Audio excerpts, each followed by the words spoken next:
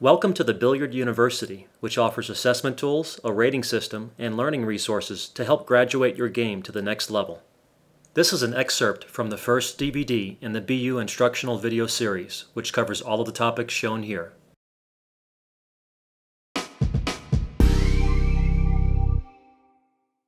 Before we look at the exams, let's do a quick review of important fundamentals.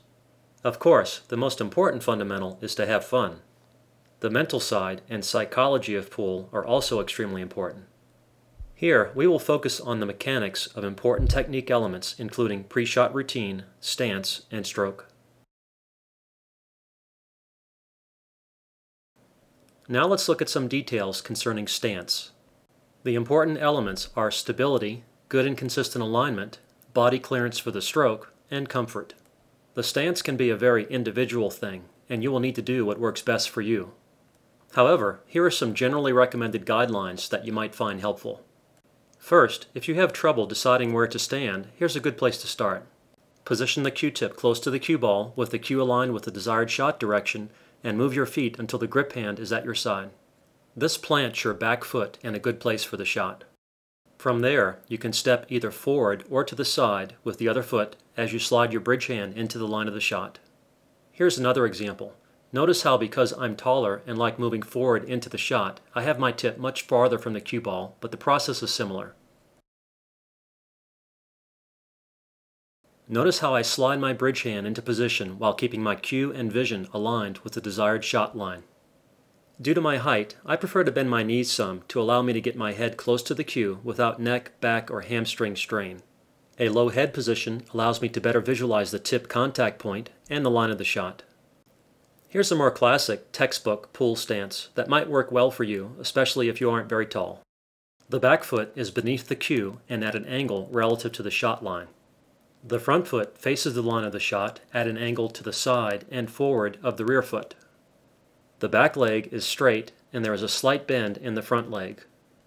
The feet are generally a shoulder's width apart, or maybe a little more if you are tall. A low head position is achieved by bending at the waist. This creates neck and hamstring strain for me due to my height, so I prefer bending both knees instead to be more comfortable.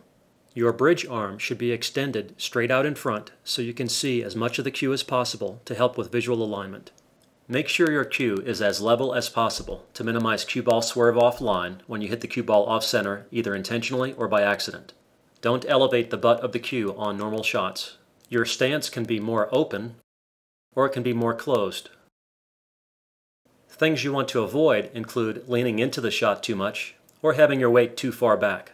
You also don't want your feet too close together. Finally, make sure you have enough clearance for the forearm and cue to swing freely. Here my body is a little too close. Again, there are many variations and alternatives for a good stance. Remember, the important things are stability, good and consistent alignment, body clearance for the stroke, and comfort.